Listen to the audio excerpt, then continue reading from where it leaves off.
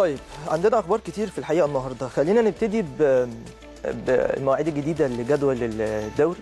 مواعيد النهارده أعلن عنها الاتحاد المصري لكرة القدم لغاية شهر فبراير اللي جاي وعدد من المباريات الهامة أكيد للنادي الأهلي طبعا وخصوصا إن هو عنده عدد من البطولات لكن هي أكيد مباريات كلها غايه في الأهمية في مسابقة الدوري العام وأيضا مسابقة كأس مصر. فخلينا نتناول مع حضراتكم أبرز المباريات الخاصة بالنادي الأهلي لكن في جزئية مهمة الأول بس يعني. يا رب تكون المواعيد دي نهائية. يعني يا رب تكون المواعيد دي هي فعلا اللي هتتلعب. هي كده توقيتات دي إن شاء الله يتلعب فيها مباريات. ما فيش أي تغييرات ما فيش أي تعديلات زي اللي حصل قبل كده. هو اللي حصل قبل كده كتير بصراحة بس إحنا عايزين نتكلم عن اللي حصل قبل كده مؤخرا قبل فترة التوقف الطويلة دي اللي أثرت على مختلف الفرق في الحقيقة وأكيد النادي الأهلي. حتى لو الأهلي كان رجع بطولة الدوري بشكل قوي مع الجونة لكن أكيد بكل الطرق هو تأثر فنيا بشكل كبير.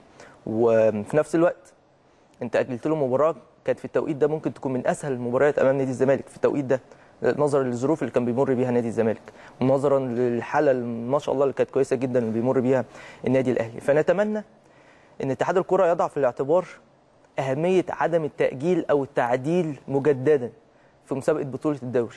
وإن الدنيا تمشي منتظمة كده وما بيبقاش فيه إيه أي أمور تعطل البطولة. وخصوصا إن إحنا بنتكلم في إيه في جانب تكافؤ الفرص بالنسبة لكل الفرق. إحنا مش بنتكلم على الأهلي بس لا إحنا عايزين لكل الفرق. الاعتبارات اللي بتتعمل ساعات كده دي مش عايزينها.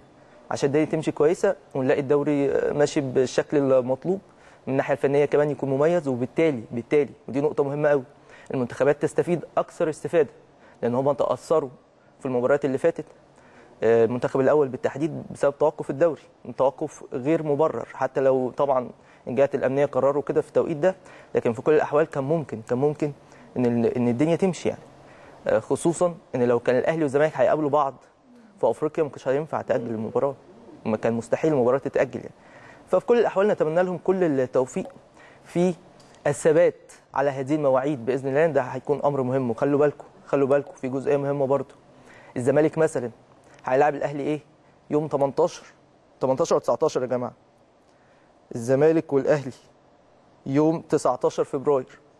تمام؟ قبليها بأربع خمس أيام كده الزمالك عنده ماتش السوبر في قطر مع الترجي السوبر الأفريقي. فهل هيبقى فيه اعتبارات في التوقيت ده ولا لأ؟ لازم الناس تفكر. هم أكيد طالما حطوا المواعيد دي يبقى عارفين المواعيد دي مش هتتغير. تحت أي ظرف من الظروف تحت أي ضغط من الضغوطات في الحقيقة. فإن شاء الله بإذن الله بإذن الله تكون دي مواعيد نهائية للفترة اللي جاية لحد شهر فبراير بالنسبة للمباريات في بطولة الدوري. فخلينا نستعرض الأهم بالنسبة لنا مباريات النادي الأهلي في البطولة. يعني ده الجدول طبعا بشكل عام لكل الأندية وبعد التعديلات الأخيرة. لكن بشكل خاص أنا عايز أتكلم عن النادي الأهلي اللي هيبتدي خلاص مبارياته في شهر ديسمبر بداية من يوم الثلاث 3 ديسمبر ومباراة في كأس مصر على استاد القاهرة. هتلعب مع بني سويف. الساعة 7:30 وبعد كده عندك مباراة يوم الجمعة دي مباراة دوري أبطال أفريقيا مع الهلال السوداني الساعة 9 على استاد السلام.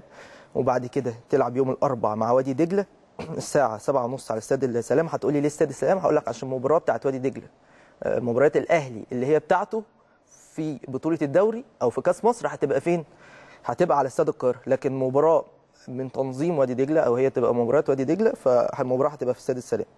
الحد عندنا حرس الحدود 15 ديسمبر في استاد القاهرة مباراة الأهلي. الخميس هتلعب الإسماعيلي في استاد الماكس بدل استاد برج العرب اللي فيه إصلاحات. وبعد كده الخميس 19 ديسمبر الاثنين 23 ديسمبر هتلعب مع الاتحاد. يعني عدد من المباريات المتتالية بالنسبة للنادي الأهلي محليا دوري وكاس.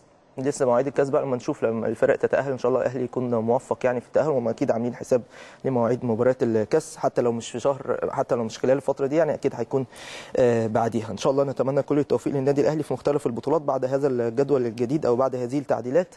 وعندنا بصراحة مباراة مهمة جدا مع بني سويف مش عايزين نستقل بالمباراة أو بالمنافس خالص. بالمناسبه هو ماشي بشكل جيد في مبارياته يعني في القسم الثاني. وفي نفس الوقت انت بتركز في كل البطولات وفي كل المباريات وده بيبقى هدف أساسي.